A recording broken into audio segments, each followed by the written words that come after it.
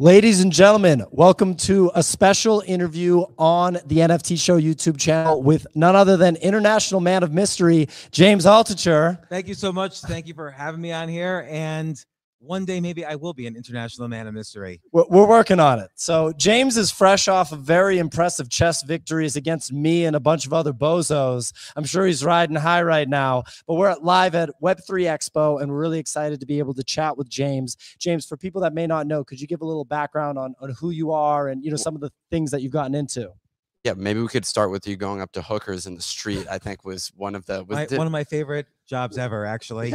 and yeah, well, this was in the 90s. And I was trying to convince HBO hey, just like you guys started the whole era of original programming on TV, there's this new medium. And and at first they said when I said this, they're like, what new medium? And I said, there's this internet web thing. And they're like, James, James, James, why don't you let the cable guys do what they're good at and you just do what you're good. Stay in your cubicle, you do what you're good at. But I convinced them to do HBO style programming on the web. So I did a, a web show. Maybe you can even call it the first podcast where it was called 3 a.m. And it's about what people are up to in New York City on a Tuesday night at three in the morning. Because if you're out at three in the morning on a Tuesday night, you're up, you're not up to something good. Like you're up to something bad. If you're not a stand-up comic, what are you doing? Right, right. Particularly three in the morning. Even the comedy clubs are closed. And Saturday night, anybody could be out. It could be party night or whatever. But Tuesday night, if there's like a man and a woman arguing in the street at, at three in the morning on a Tuesday night, something's going down. Like, Yeah. why aren't they getting ready for work the next day? Or why aren't they, you know, even if you're a student, okay, why aren't you studying? Or if you have a job, you're going to go to work the next day. So always, and it was true. Oh, I did this for two and a half years for HBO. I interviewed every single Tuesday, didn't miss a Tuesday. I probably interviewed 20 people a week, and then we would take the four best, transcribe it, do web design around it, occasionally video, which was very hard back then, and put it on the web, put it on HBO.com.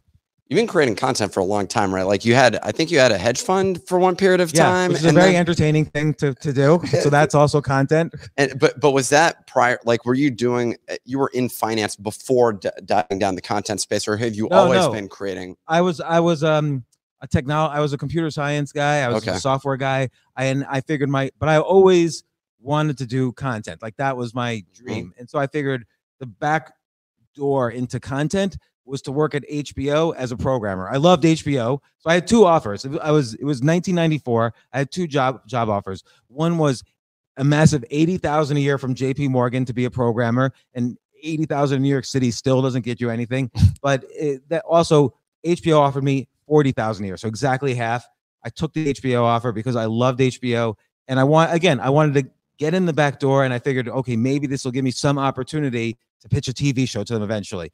And then the web was I convinced them to do a website and then that's when I I went up to the CEO Jeff Bewkes who funny enough I ran into a few months ago and I said to him, "What about HBO doing this kind of, kind of original program?" He's like, "Ah, whatever, you do it." And uh so then I went back to my boss and I said, the CEO, Jeff, said I should do this. And he's like, Well, all right, why did you go above me? And I don't know. It's just I ran into him all.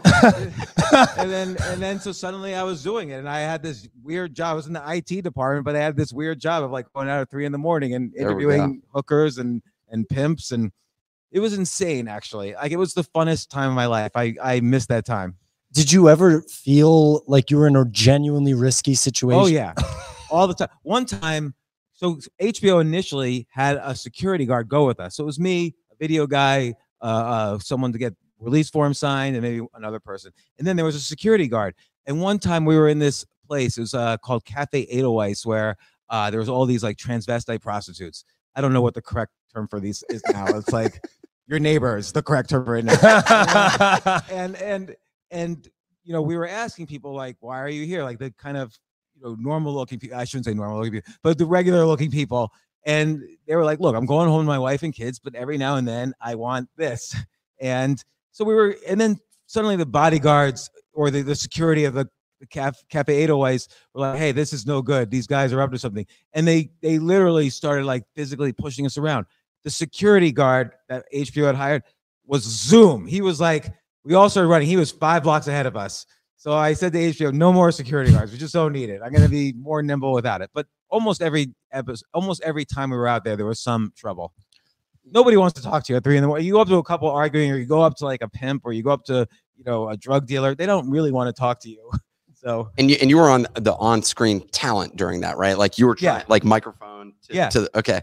And it, wh- when you when did you transition to like writing as your primary medium? Because you've written like what 25 books or something Yeah. like that now, Yeah, which so- is an absurd amount. so so when I started doing this for HBO, other comp I didn't know anything at all about business. I wasn't interested in business, and other companies started calling and saying, "Hey, can you do for us what you did for HBO?" And there was like at that time, this is 1995, 1996.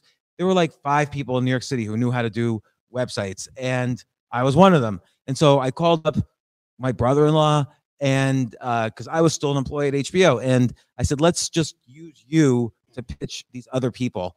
And we started a business. So we did AmericanExpress.com, we did TimeWarner.com, we did so many movie studios, we did every gangster rap record label because of you know, and and it was- Natural fit. yeah, it's- yeah, of course. So and we Was did No Limit bag- Soldiers one of them? Hmm? Yeah, How about No Limit Soldiers? Oh yeah, we did they? no limit. Oh, there we go. Yeah, All right. yeah, we did we did uh, uh loud records, bad boy, uh, and it was such you you got to see like the inner workings of that industry, and it was just a total weird industry. But we we we did this company, we we built it up. At one point, my younger sister calls me and says, "Oh, we're learning how to make websites in junior high school," and I said, "Okay, we got to sell the business immediately." We sold it because it became like just an in-house thing for every company and we were we were charging like ridiculous money for three page websites like oh it's code you have to know html Yeah. programming if you're going to do this and so so but i did make a lot of mistakes. I didn't know anything about business. I i was writing this is a big critical mistake which i always regret. I was writing software to make it as easy as possible for me to do let's say americanexpress.com was a 100000 page website. And so i made like all this software to make websites really easy. And only later did I realize like I had basically written software that could have been like a WordPress, but I didn't want to tell anybody because then they wouldn't pay us what we were charging because it was like seemed very expensive to them to do a hundred thousand page website.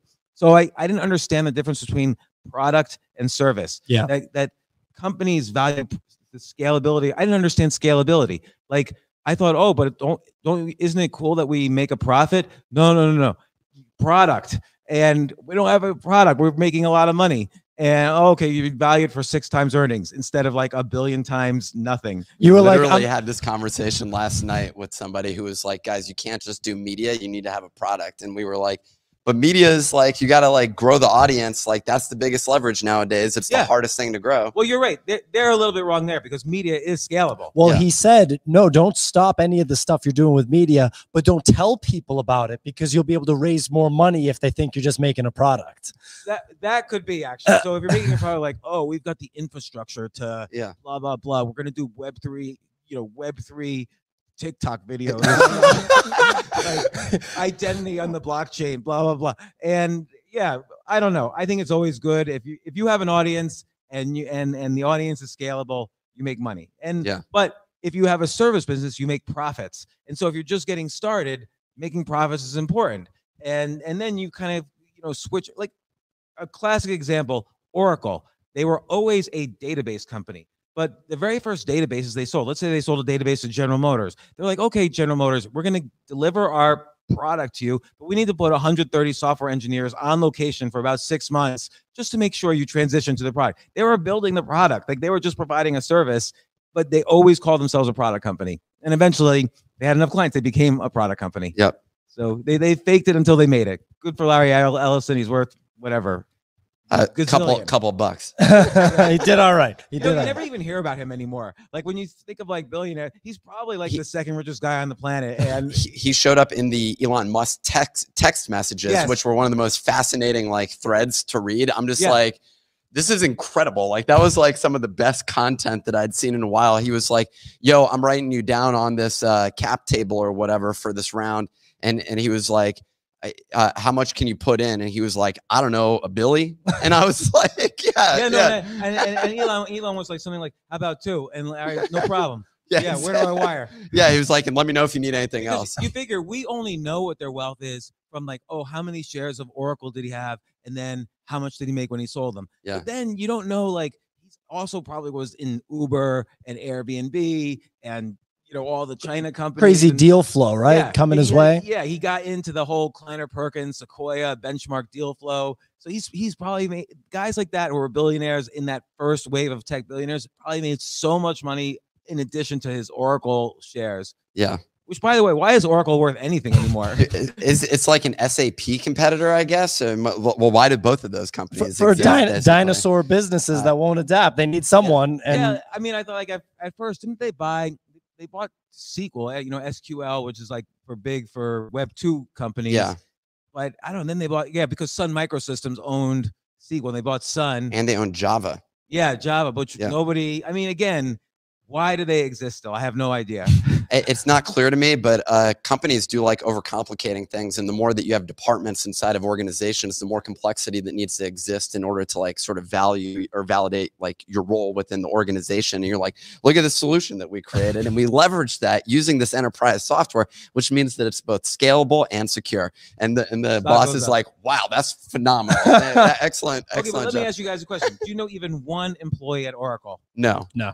No, where are they? actually i think i met, i know a salesperson. There's salespeople and i was like damn you guys th- there's some salespeople where i'm like like they're closing these huge deals. The sales cycle for them has to be like multi-year because it has to be I, i'm assuming a business like that has to do multi-million dollar like contracts. So they have to go through some whole process Uh, you, you the as you were speaking about it, it made me click. It was like oh so it's basically like data storage is the biggest thing. Because after you've now invested in building those things now the sales guy is just like yeah we have a new uh, data storage thing which is way more scalable it's going to reduce your marginal cost but data's still going on so we're still going to make more money uh, and you're going to need to transition to it so our consulting team over there is going to help you That- make this transition That's seamless true. There's a moat. Like if Yeah. you if you if you hired Oracle or if you bought Oracle in like 1995, Yeah. you can't leave. You're like, please, is there some way I can get out of this? And you're talking to everyone else, and they're like, no, sorry, we don't even want to touch that junk. yeah, exactly We're not going to your attic and cleaning it up. Yeah. So- and that's the easiest sales job in the world because the relationship is there. You're just Yeah. calling saying, I'm the new guy at Oracle. You know, it's like forget about pitching, cold calling. Just I'm the new guy, and here's our new thing, and you probably have to buy it. And I'm Yeah, gonna get a And by the commission. way, you're gonna get fired if you don't buy it. So, 'cause where are you gonna go? We're gonna just pull the plug on all your other stuff. I'm, I'm wondering from your like transition. So I I was made familiar with you through randomly through Mike Lazerow when he was starting Buddy Media mentioned Mike- you, and I think yeah. did you invest in him at that Yeah, that yeah. I time? invested in Buddy Media. so so he September met, 2007. So here's what happened with Michael Lazerow. So I um I had been doing some day trading. I was running a hedge fund. I was writing a lot about finance, which was not really my interest. But so I started at the Wall Street Journal, right? uh, a Wall Street Journal, Financial Times, a bunch of places. Yeah. And I wanted to start the MySpace for finance because MySpace was like had just bought, been bought for 500 million. This was like in 2005 or 2006. And so I I was meeting the CEO of the street.com and 2 weeks later and I I called a bunch of Indian developers and I said, "Here's my outline for what I, the site I want to create. Make some screenshots as if the site is done." And so they did. And so Tom, the CEO of the street.com, said to me, um, so what are you working on? And well, I made this social media site for investors. And I was like, no kidding. Like, uh, can we help out? And I, well, I'm done. Like, here's the screenshots. Like, it's all done. and and and I didn't mean. I'm. Of course, it sounds like I'm lying to him. I was, but I was making it. So I was already putting money out and making it. And and you know, I was taking risk and personal risk because I was paying out for it out of my own pocket. And and he's like, well, will how can we get involved? And I said, well, how about you mention stock picker on every single page of the street.com and Jim Cramer writes about it and, and you let me write three articles a day about it. And he said, done, deal. And and he said, well, how much equity? And I said, I was thinking I'd give you 3% of the equity. And he was like, he said, I was thinking 50%. And I said, deal. because because sometimes you want to give equity so that they're Had invested, interested. Yeah, yeah. they're like I had nothing. So of course, 50% of this, go for it.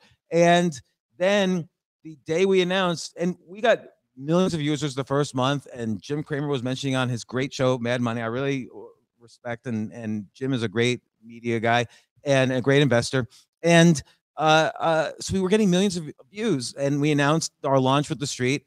And so I immediately called up AOL, Yahoo, Google, Forbes, Reuters, Interactive Corp, and I said, my half is for sale. So, and and and then they were all interested. Like I remember, I remember visiting Google and Did I, you ever create anything? Hmm? Oh yeah, yeah. No, we made a site. We had we had Oh, millions okay. of users. Yeah, it was, Okay, It was okay. really it was called stockpicker.com. It was really a great site. Yeah. We had uh, uh Q and A section. We had message boards. People would upload their portfolios. You would see if oh how your portfolio interacts with Warren Buffett's portfolio. a precursor? Was this before StockTwits existed? it was right before it was StockTwits actually. Okay. So I knew Howard Lindzon very well. Yeah, yeah. He would make fun of. We met because he the day we launched, he called it nose picker, and I'm like Howard, you know. I want you involved in this. And so we became good friends. And I was I was an investor in StockTwits, unfortunately. But uh, you know, StockTwits is- is good product, but it's just they never exited. But uh, so so I remember though visiting Google and making the pitch to them because they had started Google Finance and this was perfect for them.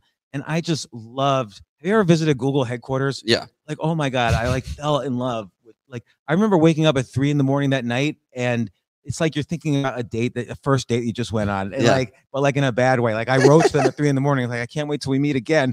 And they never wrote to me again. so but I to the street.com said you can't sell your half to somebody else, like to AOL, because you're with us. And so they bought my half like four months after we launched. Okay. So it was a good, it was a good deal for me. And then, but before that happened, though, Michael Lazerow, who I had never met, he had just sold golf.com to Time Warner, to AOL, Yeah. to Time Warner, and his shares were vesting. So he was like, I'm looking for something to do. Can I be, I have ideas for you for to be, you know, I want to be CEO of Stockpicker, the, the site that you created. And I'm like, that's great. I'm not really a good CEO. I'm not a natural for it. What are your ideas? And he started telling me these ideas. I'm writing them all down. I executed on all of them. What he wasn't, the, I never made him the CEO. And which again, but we became good friends. Like he he got it. And then uh when he started Buddy Media, which was like a Facebook version Yeah. of what I was doing for websites in the 90s, he started doing and he was smart. He turned it from a service business to a product business. Very smart. I mean, Mike Lazerow is like the best CEO out there for these types of things. And so happy I invested. Uh, Peter Thiel had invested in it. And look, uh, this was right before the financial crisis. So this is the benefit of investing in private companies. You could ignore, like he didn't have a stock or anything. And he was very smart about raising money and keeping going. And then he sold to Salesforce.com for like 700 million in 2012. Yeah. So, I- so when when I saw that or when I came across you, I was following. I think I subscribed to your blog at that time, then then newsletter, and then now, now you have a podcast. But there was at some point there was a transition, and I don't know when it was, but I was seeing all of your ads for like cryptocurrency courses and like Yeah. things like that. It- your face was literally everywhere that I went on the internet, unfortunately, and I was like, "What the hell is?" Go-? I'm like, "The what what." Can you tell us a little bit about like what that was, and was that your like entry? or your first foray into crypto was via these courses or like what, what was that I mean, so I had started so around 2010. Uh, I just got sick of everything. Like Wall Street was just such a scam. I just hated that hedge fund business. I shut that down. I just got sick of everything. So I moved out of the city about 80 miles north. Just reduced my. I decided I'm just gonna write. And this was before Buddy Media exited. Before I had any real exit other than like Stock Picker and my first company, both of which I went broke afterwards. And so I just started writing, and I was so sick of everything. I just started writing not about stocks, but just about what it's like to be broke and depressed and come back from that, and like the things I did to come back from that, and the things I really cared about and felt about. And everybody was like, I can't believe you're saying all this stuff. This is like too much information. And then privately, they would write to me and say, I'm a crackhead, you know, so don't tell anyone, but hey, keep up the writing. And uh, so I was getting really a lot of en- private encouragement from people, even if they were outwardly saying, you know, oh, it's too much. It's like James Altucher is crazy. And uh, uh, so I, I wrote a book called Choose Yourself, which is like, don't let other people choose you. Like you guys, if you were pitching this as a TV show, and believe me, I've pitched so many TV shows. You have to go to agents and studios, and they treat you like crap, and like, and they string you along because they don't know and they have no clue, and they're waiting for their bosses to decide. You, you're waiting to be chosen in almost every industry you want to pursue. That's that's worth it. And I'm and I so I wrote a book how really you could find freedom if you just if you want to do a show just open up your iphone camera and do a show uh, if you want to do a radio show do a podcast if you want to write a book guess what i there was, i did an experiment i wrote a novel of, of about a 40 page novel under a pseudonym in one weekend and published it by just uploading it to amazon making it a paperback and a kindle and it was available for sale And I started showing people how you could do these things to choose yourself. And then I re- I wrote a book called Choose Yourself about being broke, being just I lost a home, I lost a marriage, lost everything, and it was really hard. I was like suicidal all the time because you just feel like you can't move. And so I just wrote a book about this and how I kind of climbed out of that hole. And that first, but the first thing that I did was I created a Bitcoin only store to sell oh, a month a month prior to its release. I released it on Bitcoin only. Like I made a bookstore for where I only had one product was my book and sold it for Bitcoin only. And that got enough publicity. CNBC had me on to talk about Bitcoin. And they said, Did you just do this as a marketing stunt? And I'm like, Well, I'm on national TV right now. So it worked. Thank you very much. See you guys later. And, you know, I made some Bitcoin from that. Bitcoin was around $61. Uh, uh, literally, people were, I was selling that book a PDF of that book for 0.1 Bitcoin. So people were buying uh, now $2,000 a PDF. People were buying that book, but who knew it was going to be big? But the reason I got into Bitcoin was a few months earlier, one of my readers, I would hold these Twitter Q and A's all the time. And one of my readers said, what do you think of Bitcoin? And I said, you know, I don't really know, but it sounds to me like it's a scam or a fad. And Naval Ravikant calls me up and says, listen, I'm flying into New York next week why don't we get together for breakfast? I'll explain Bitcoin to you. And we spent like three hours, and he went over as much as he possibly could in three hours. And I said, I'm a believer. That's when I made that store, you know, and I, I started getting excited about Bitcoin. And then it was several years later that, you know, I said, you know, people should need to be right now. Everybody's talking about Bitcoin and using like words like hodl and like their inside lingo. And like, you know, my grandma in Indianapolis or wherever is not going to understand what hodling means. You, if you really want Bitcoin and crypto to do well, you need to explain this to the masses and educate them. And so then I started doing, you know, educational stuff about crypto. And then this newsletter company wanted to partner with me and said, "Look, you're a good writer, but you don't know how to market. So we'll market you." And they did. I mean, they were spending sixty million dollars a month, and my face was everywhere, all like, and with like bitcoins in my eyes, like weird, like you know, you you know, Germany Jew kind of kind of images. Yeah. Uh, oh, I went to on vacation to like Turks and Caicos during this time, and the taxi driver was like, "Oh, what crypto should I buy?" And it's like everywhere in the world, like I, I and and then a lot of people really hated it too. Like this guy doesn't represent crypto, and I did. I, I wasn't trying to say I I did, but one time I was I let it get to me, which I you never should let it, but it's hard. So on Twitter, like one Saturday night, I said, okay, if anyone has a problem with me and crypto, call me right now. This is my phone number. So I started getting call after call and explaining, I'm just trying to educate people. If you're so hot on crypto, you would be happy for what I'm doing. That guy who started Dogecoin called me and he actually then, because he was trashing me on crypto, and then he, after speaking to me, he tweeted out, like, okay, I spoke to him. He's actually, the marketing's a bit aggressive, but he actually is a good guy. And but yeah, it's uh, that was a real painful time. You sound like Nick right now. Like you know, when people talk to Nick, they're just like, "Oh no, no, like he's solid." But Nick's like, "Well, this title is gonna get the most views," and before you know it, people are like real mad about a title. You know? Well, yes, that's what happens. Fast forward like eight years later, and I I wrote an article. No, not eight years, like four years later, three years later. I wrote an article that had a very aggressive title, but it was about something I passionately cared about, and I wanted people to read it. People don't read unless you they say don't judge a book by its cover, but you have to. That's the only thing you see before you open the book. And so titles are very important. And Mike, Mike Lazerow said, "Oh, I know you were just trying to be controversial." And I'm like, no, if you just write to be controversial, you're you're going to fail. Like that's a bad writer. Yeah. I could think plenty of things to be controversial about, and then I'll disappear. Like that, you just will fail as a writer. You won't have any good stories. You won't be able to really express the vision you have. But I was really concerned about New York City, and I wrote about what I saw the problems were but I titled the article "Oh, New, New York, York, City is dead. dead. forever." Yeah, here's Jerry why. Seinfeld responded to that. Oh my God! So Jerry Seinfeld, who's never written an op-ed in his life, does a full-page op-ed in the New York Times just trashing me. like, he really did. Yeah, and I'm and like so. Then the New York Post asked me to respond, and I said, you know, you live in Long Island with your 240 Porsches. Like, what what room did you write that art response in? like, and and at the time I owned a comedy club in New York. I was a stand-up co- comedian for about six years, and I, I owned a comedy club. I said, Jerry, you, I would invite you to to perform at the comedy club this weekend, but I don't even think you're in the city. So he never responded to that. But he's a great comedian, and I, I loved his book that came out um, right after that. I think he was just kind of promoting his book, but Yeah. I have nothing against him. But I was a little disturbed that everybody was like, "Oh, this guy's not even from New York. Born born in New York." And ex girlfriends were writing articles like, "Oh, he doesn't even live in your." I, I, I just re-signed the lease. Like, how you? What do you know? Like, we broke up years ago, and uh, so it was just. But I let it get to me. I did let it get to me, and you, you they always say, "Don't let it get to you."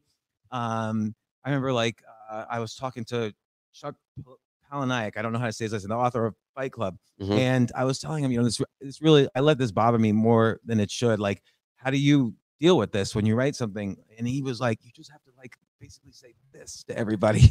And he even checked in a few days later. He's like, hey, just checking in. He was a good guy, but I did let it get to me, and I kind of got burnt out for like a year or so afterwards. I think it was because also I recall reading that article actually and being like, damn, he's given up on the city. Like I think I had moved to I moved to New York like seven years ago from San Francisco. I was in DC before that, but the uh I remember being here and being like, man, fuck this. Like like reading the article and be like, nah, it's gonna be all right. I stuck around during, during COVID, but uh, which I wish we'd just signed a lease like the week before the city shut down, which was uh, stupid. I did But, too, by the yeah. way. I had renewed my lease about a week Oh, before. There you go. So- Yeah. So end of February or whatever it was. Yeah, that that was uh, disastrous timing. But it, regardless, yeah, I mean, it struck a chord, and you're able. I mean, when you when you tell narratives, when you tell stories, it does resonate with people, and you're you're very talented at that. So I mean, I, appreciate you saying yeah. that because I wanted to express to people I love this city. I mean, Yeah. I grew up in and around it all my life. I lived there all my life, and I loved it. And I wanted to say this city I loved. I don't. I'm, I'm not saying transformation is bad, but I just don't want it to die. And people were not aware. I mean, 60,000 small businesses went out of business during that time. Like it's it's scary. And Yeah. New York City hasn't recovered. no, And look, people who were serious took it seriously. Like Eric Adams, who's now the mayor, good friend of mine, was a good friend of mine long before he was mayor. He and I would have nonstop conversations about it. He came on my podcast afterwards to say, No, your article, you know, keep doing this. Gary Vaynerchuk, he helped me put a, a video together, kind of explaining a little more right why I wrote that article. But I, I do have to say, and again, it's almost a cliche. Like everybody said, don't you can't let everybody get to you. But there was so much hate. There was like 20 million tweets against me. And that thing I- went super viral. Well, Everybody yeah. read that article. Twitter, Yeah. Twitter is like when you get into a debate with someone, it's it's literally no one wins out of that experience because it's so emotionally draining. Yeah. And and and then you put up like you get in fight mode at that point, and now you're like going back and forth with like random people, and I'm like, wait, hold, like it, Yeah, it, it ruins exactly. days of your life basically, where you're just like, this got completely out of control. Initially, I was like enjoying the the like attention that was coming in, and then it quickly shifts to like I'm not winning anything here. Like this is just like a ball of neg growing ball of negativity. So and, yeah, and it was Twitter- just nonstop. Like, yeah, and I had even given the advice before. Like, if you start a fight on tw- on Twitter, you've got to reset the clock now. Like now it's you know hour one, and you've got to have you, you- now you've got another 24 hours of fighting in front of you. You just got to stop reacting. But I I couldn't really stop because it was people I knew also, yeah. and it was it it it upset me and it let you know I couldn't I couldn't follow my own advice on that one. But I think it was like the most viral. I had written viral articles and best-selling books before, but like you know you had people like I didn't know Rush Limbaugh, and he was reading it word for word on his radio show, and Glenn Beck read it word for Joe Rogan was talking about it, and of course, then you go back. New York City people don't like those people, Yeah. and so they didn't like. People would send me messages. You are who you hang out with, and I'm like, I don't even hang out with my own kids right now. Like I'm in hiding, and like you know, but you know nobody listened. So I left New York. I was like exiled from New York. you, you get put in a box Yeah. basically when that happens and and it's not because of something that you actually meant to have happen or relationships that you have right it's because you wrote a title Yeah, it's because I wrote a title, and nobody would have read it otherwise. If I said like, "Here's six things New York needs to work on," no one would read it. So new york city is dead versus here's six things I can make it a little bit better yeah, then it became a meme, like you know, uh, like oh, or, or you can next write Bitcoin is dead forever. Like here's why. Like every, everybody like filled it in with their Those own do really thing. well. That's like a common refrain. NFTs are dead. yeah is nick's is the had us do current line. nfts are dead like seven times just we're an nft it, youtube It channel works, right? Well, yeah, they're dead again it- it's so predictable. Did, did you want to? Uh, Well, sure. I mean, J- you know, James, I'm fascinated by the hedge fund component of your career, right? And going from essentially programming and content and, you know, going on the streets and, and taking risk interviewing pimps and prostitutes. Then you enter hedge fund territory. How about the risk there? Like, you oh, know, Oh, yeah. did you have sleepless nights? Like, Oh what's that God. like? Like, oh my god! First off, I started off as a day trader, which is really horrible. Like I would, you know, I would put on a trade at 9:30 a.m. and I, I wrote some software to help me trading, and I, I, I, I, the software would give me a signal. Oh, the past 99 times out of 100 that this series of events happened, you can make a trade at 9:30, be out by 10. And so a lot of days it would work out. I'm like, oh, this is the greatest ever. Made some money in the first half hour, and then the every now and then though you're in this trade and it's like not working out and it's like oh it went down a little went down a little there was a church across the street from my house i would go over there and pray even though i'm jewish but so is jesus i figured we were cool with that and um but then i started um a hedge fund where i then uh it raised money and invested in other hedge funds so it got me really kind of unusually informed about finance because I was interviewing maybe like a thousand different hedge funds to invest in. I had raised money from people who I had previously helped make money for and uh, invested in about a dozen hedge funds, and we were doing really well. But it was really, it was a real, it was hard for me to raise money. Like I didn't have, I didn't have an MBA. I didn't work at, had you know, I didn't have the Goldman Sachs pedigree, and then worked at like a super big hedge fund. I was just me, and wasn't really. I raised a good enough money to make a living, but not like huge amount of money. And I remember one time my neighbor says to me, "Oh, you should meet my boss. He runs a, a multi-billion-dollar hedge fund. He'll like you. You you guys will get along. He'll invest in your fund." So I go into the city with my friend, and the boss meets me, gives me the full tour of the facility. We sit down in his office, and he's like, "James, I really like you. What what you know?" What do you want from us? And I said, I'd really like you to put money in my fund. And he's like, Well, we already have a fund. And I'm like, yeah, but you need to diversify a little bit. I have a different strategy than you. You could diversify. And he says, listen, you could have a job here anytime you want. I'll hire you in a second. But uh, I don't know where you're putting the money. And he pointed to himself. The last thing I need to see is Bernard Madoff Securities LLC in the front page of the Wall Street Journal. So literally, Bernie Madoff rejected me, and I'm leaving his building, and I'm thinking, man, I can't compete with guys like Bernie Madoff. Like they're the best, and like all these other hedge funds were calling me as I was leaving. Like, can we, how does how does he do it? He's amazing. How does Bernie Madoff do it? They've all denied making those calls to me, but I know uh, why would I? I have the phone records, and you know, and then I, I actually that began starting the process of unraveling that hedge fund because I just didn't know how to raise money. Here's a guy with supposedly a $60 billion hedge fund. He wouldn't put money with me. People should invest with him. I don't know. And I think that's the problem with scams on Wall Street is that they crowd out all the legit stuff because Bernie Madoff was making a percent a month. Everybody liked that. That's an impossible goal to achieve in general, but he had been doing it for 20 years. And so everyone, you know, that crowds out. We were legit and it just crowds out. We couldn't compete with that because so many people were fooled. And so then after he he blew up, I remember my friend who was my neighbor, he called me up and he was like crying, like Bernie was like a father figure to me, and all these people who you know they missed out on their bonuses. They they it was like a murderous like feeling they all had.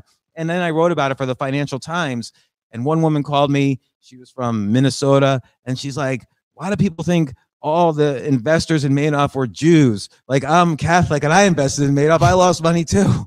So he really heard a lot of like there was at least a dozen suicides among the investors of, of Madoff. Like it was which is insane. I also read that like supposedly like 95% of the money was returned to investors fully Yeah. or something like that. It was well, the- ninety five percent of the original money invested. So Yeah. not not the Not the returns, gains, but yeah. like people didn't really lose their initial money in the long run. We didn't. Yeah. Nobody knew that in the beginning, but Eh. but still they. You still you think to yourself, oh, I just got a my statement from Madoff. My initial hundred thousand is worth twelve million. So you start spending based on that, and people really lost, you know, lost everything. so so we're at a web3 conference and I'm wondering if Bernie Madoff was around now, would he be investing in NFTs or running an NFT fund?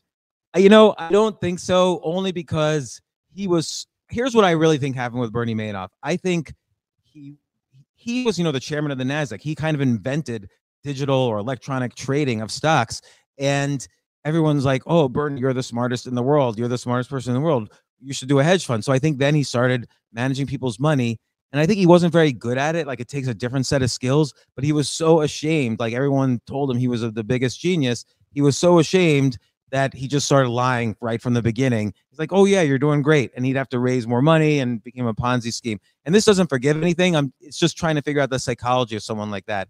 By the way, fast forwarding then a decade later, I, he's in prison, and I um you know had a, a a, a podcast, a growing podcast, and so I reached out to him in jail and I said, "Would you come on my podcast?" And of course, the message has to go through the warden, and the warden finally gets back to me and says, "Bernie says no, no, re- no reason given." I'm like, that guy just rejected me again. Like, how does it keep happening? You know? That like one thing he gained in life is like re- while he's making license plates, he gets to reject me. consistently. Uh, well, well, I'm actually curious on your take. So, outside of Bernie Madoff, what what is your take on sort of the NFT space as a whole? Uh, Do you have any interest in it whatsoever? And what, Yeah. what, what are your thoughts? Well, I think it really reminds me of like when the internet first started. Nobody really knew, oh, this is going to be an e-commerce, this, this worldwide e-commerce platform where all e-commerce transactions, all retail transactions basically are going to start happening through through this thing called the internet. Like, is this an artistic medium? Is it oh hypertext? Is it a new way to write books? Is it uh, uh, just a pamphlet? Like, let's put all, every company will put their pamphlet online. Like, nobody really knew and it just sort of evolved with time like there's this technology here that seems neat and it evolved over time nfts like oh a digital ape will that be interesting maybe but probably not i think nfts are exciting to me if you think of them as access to something so you get let's say you're a sports team you're, let's say you're the new york knicks basketball team and you sell a ticket uh, and and you sell the ticket to me, and then I sell the ticket to you for like you sell the ticket to me for hundred dollars. I sell the ticket to you for two hundred. You sell it to you. You're a scalper for three hundred. You sell it to someone on the street for four hundred. The Knicks only makes money on that first transaction to me. But if a ticket was an NFT, they would make money every step of the way. Mhm. You know, and I think NFTs are great as access. Like, oh, you have a restaurant? Hey, you get the special menu if you have our limited drop NFT. Oh, and I've talked to the owners of sports teams. I spoke to Marc Lore, uh, who owns the Minnesota Timberwolves, among other things. He sold Jet.com to, to Walmart. And I told him, what do you think of this idea for NFTs? And like, we're already building it. And like every sports owner I've spoken to is in the process of that's how they're thinking of NFTs. It's like this is a, a a doorway to access to something special.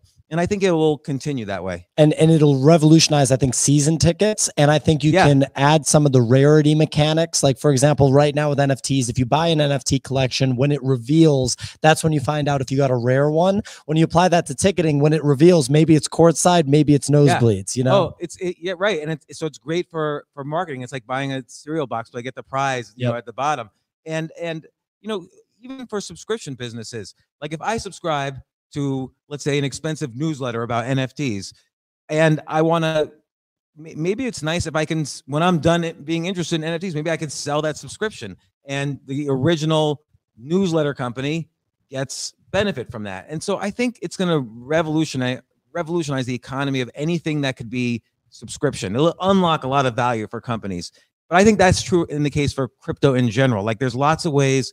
See, people always say, well, what are the real world use cases? Like, what can I do with crypto that I can't do with anything else?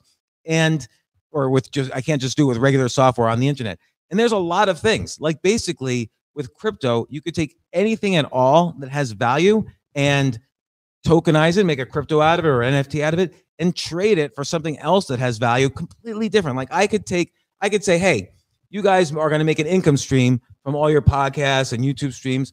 I want you should you should tokenize 10% of your cash flows for the next 10 years on of all your media stuff. And it's all going to get bundled into your media company and you'll tokenize 10% of the cash flows. Whoever buys like, you know, your coin, whatever it's called, uh, will will participate in your growth in your cash flows, and, then it has monetary value, so it could be bought and sold on DeFi exchanges, and it could even be sold.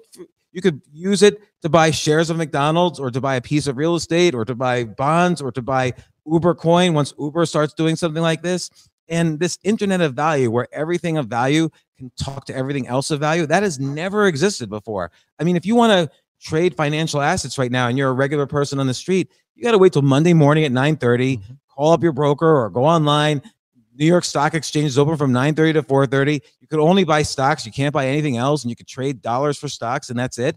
But with crypto, it's 24/7 and everything of value like an Uber ride has value, an Airbnb stay has value, a newsletter or newspaper, your your media content has value. A, a, a young student with a law degree, their future cash flows have value. Everything of value is going to be tradable for everything else of value, and that's like such a quadrillion dollar opportunity.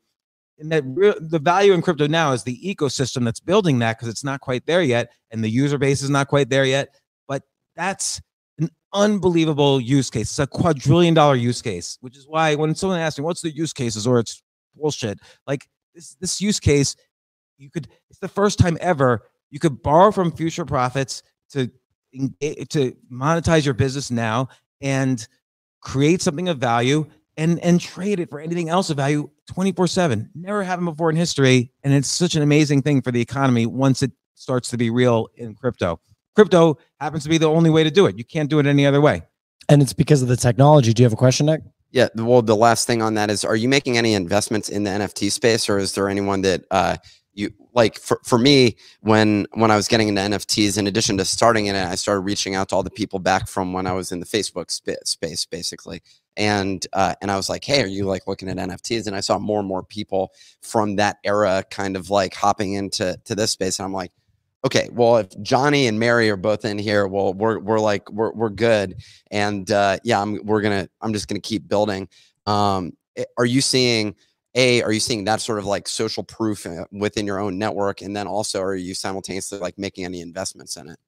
Uh, you know, it's hard to say because again, we just don't know where. And I think NFTs do end up like how we described before and I just don't see the value in buying like a JPEG or something like that right now, or an NFT in a metaverse game. Like, uh, you know, again, some people maybe are finding value, and I could easily be wrong about it, but I do see the few. So what I'm interested in are like, let's say, the tokens that are picks and shovels in the space. Like, how do you make it so that you know, grandma from Indiana, Indiana could could trade you know tokens from one complicated wallet to another complicated wallet, or how can you get you know information that's in this blockchain to share with information on this blockchain.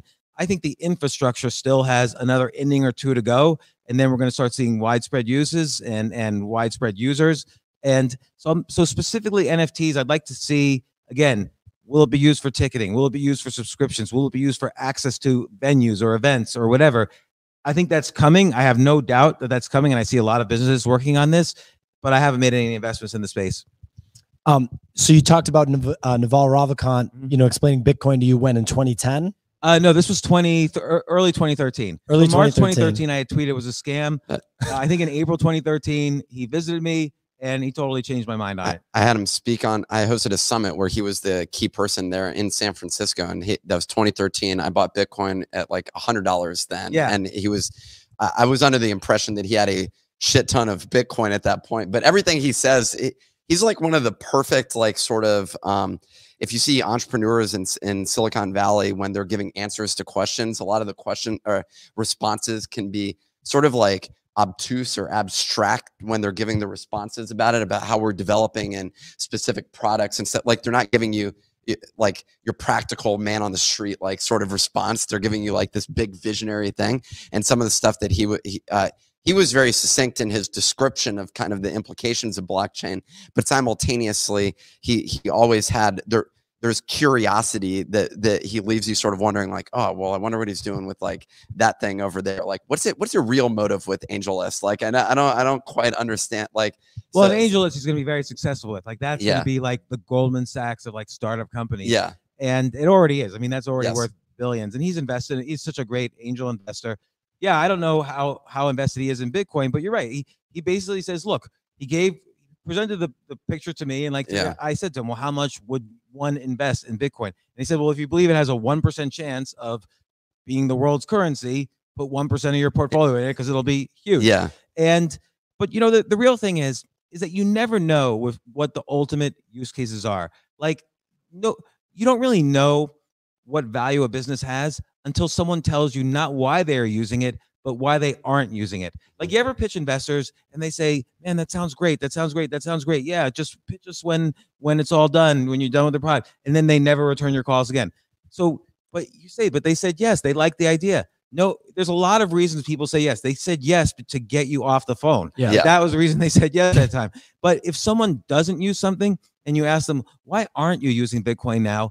Well, you know, there's all these wallets, and what if I forget my password? Like now they're telling you real problems to solve. Yes. And and that's like a great, you know, cue about what businesses to start and so on. So I feel like we're still in that phase where no one really knows. Like I gave this idea a few minutes ago about oh, here's quadrillion dollar use cases and and maybe that will work but still every step of the way why aren't people doing it yet well there's not enough users well it's too hard like i explain bitcoin to people older than me and they're like oh well i got to use this wallet for this and how come I, I could buy this token in new york but not in south carolina? And like it's it's really complicated and that needs to just like with the internet for 30 years you know the internet started in the early 1970 or 1971 for a long time nobody could use the internet. Then it got easier and easier and easier and now we all use it.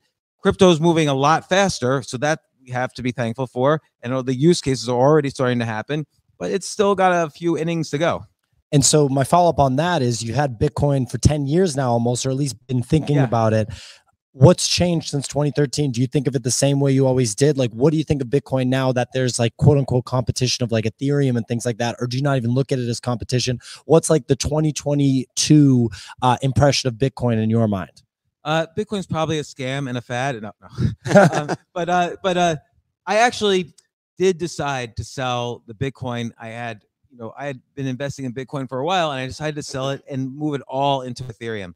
And maybe i'm right maybe i'm wrong you know one way or the other i think i think bitcoin continues to stay here and continues to you know will go up in the next cycle and but i just think ethereum will go up more and already there's more transactions per day on ethereum and you know this merge happened now the, the surge the purge all these things are going to happen. So they're really developing the ecosystem of ethereum bitcoin is a good example of like okay here's crypto it works but i don't see the infrastructure around bitcoin really being built where there's a lot of projects around the infrastructure of ethereum it's really made to create use cases bitcoin's got the lightning network to make transactions faster and to do some types of smart contracts but i think ethereum just is the real Bitcoin ultimately. And I ultimately don't know the use case of Bitcoin because we see right now Uh, the US dollar was weak because of inflation, but every other currency in the world was so much weaker that the dollar is strong is the strongest of all of them now. And so people just love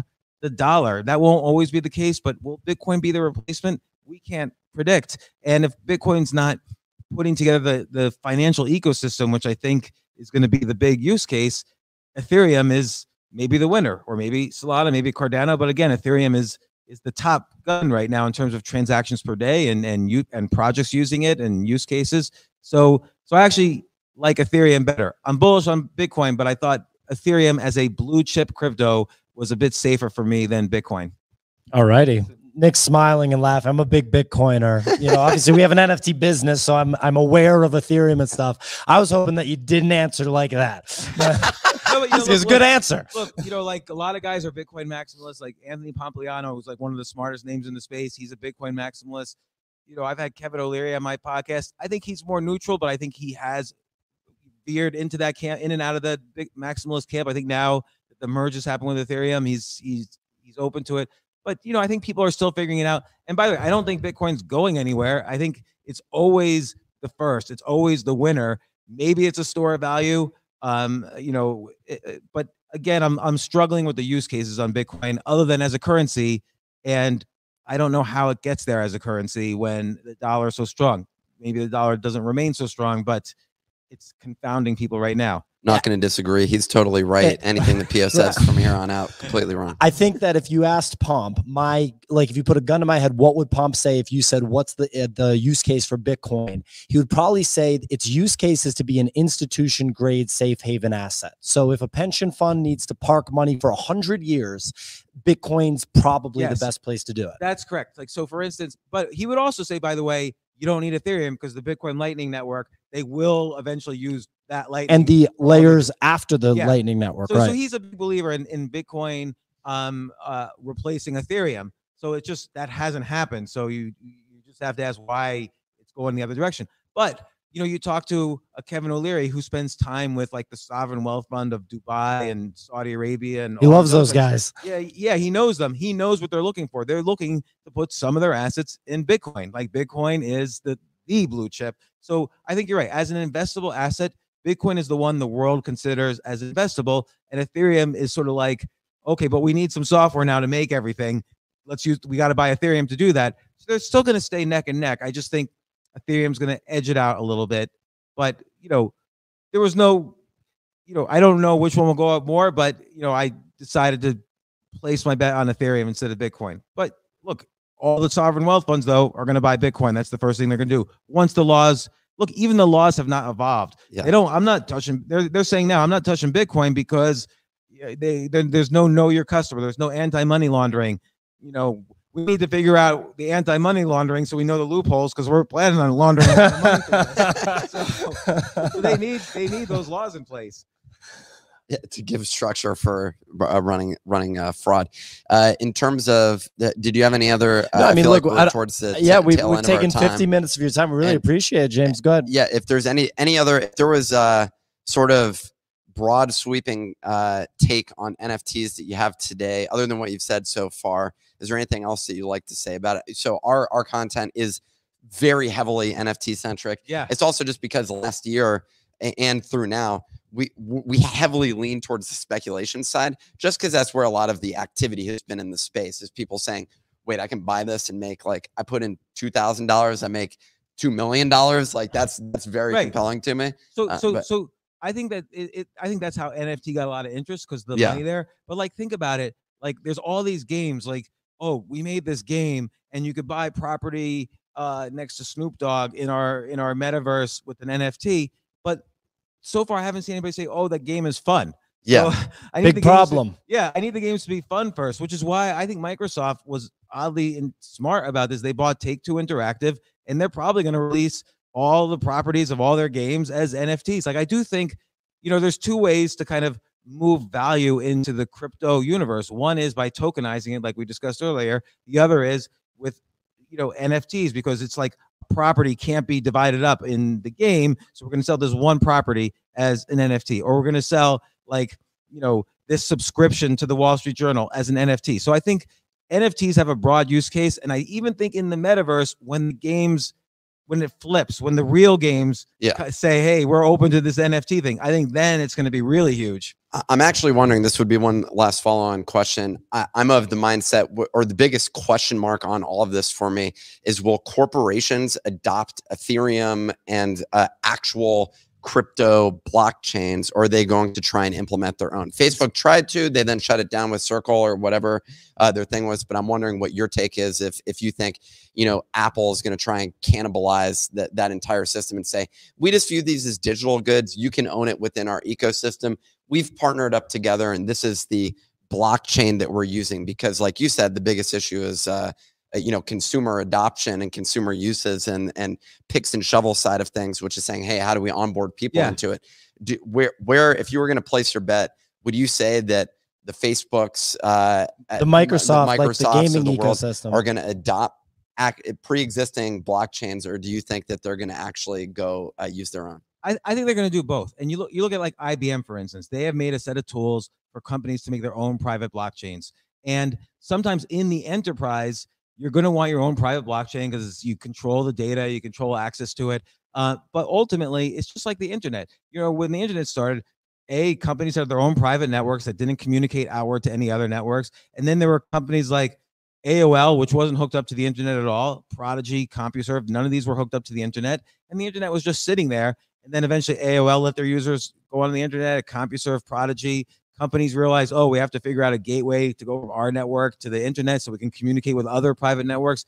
The same thing's going to happen here. Like there will be lots of blockchains, but like we were talking about earlier, there's already tokens being made to take information from one blockchain to other blockchains. So that's part of the picks and shovels that are being built. And ultimately, I think there will be one kind of, you know, crypto superhighway, like the information superhighway. There'll be some one sort of crypto superhighway that'll kind of join them all. But also, it's valid that companies will want their own private chains as well, Mhm. and and for various reasons.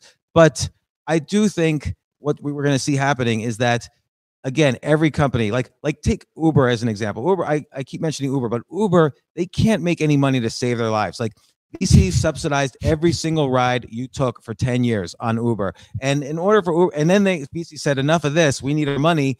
Let's just sell it to the idiots. So they took the company public. That the public they view as idiots. So which is the problem with both Wall Street and VCs. And and you know, the public bought it and the stock's gone down ever since. They can't they either have to you know pay their rider their drivers less which they're not going to do or they have to make the rides more expensive which they can't do but maybe they can make uber coin so if you ride more you get tokens deposit in your account that you can be that can be used to pay for future rides or drivers get good reviews they get tokens that can be used to pay for Mhm. future rides almost like frequent flyer miles with one big difference now it's tradable for anything else of value airbnb coin mcdonald's coin Yeah. you know, five percent of someone's house that's tokenized. Uh, you know, your future cash flows. So like all these things that we can't even imagine now as use cases will become valid quad, a quadrillion dollar crypto eco financial ecosystem ultimately. I'm looking forward to that and becoming quadrillionaires in the process. Pretty So, good. uh, there will be. I mean, look, it's almost a tr- like Elon's almost yeah, a it's trillionaire. ridiculous. So- it's absolutely absurd. Well, I, I know for uh, I, both of us uh, appreciate you taking the time today to come chat with us. I appreciate you guys having me on. It's really Yeah. exciting. I'm really happy. Thanks so much, man. Well, ladies and gentlemen, James Altucher, uh, check him out, jamesaltucher.com. I'm assuming, yeah. Yeah, or to the James Altucher Show podcast or whatever. You've heard of him, not us. Uh, smash the subscribe down below. Cl- uh, click the like. Thanks so much. See you next time.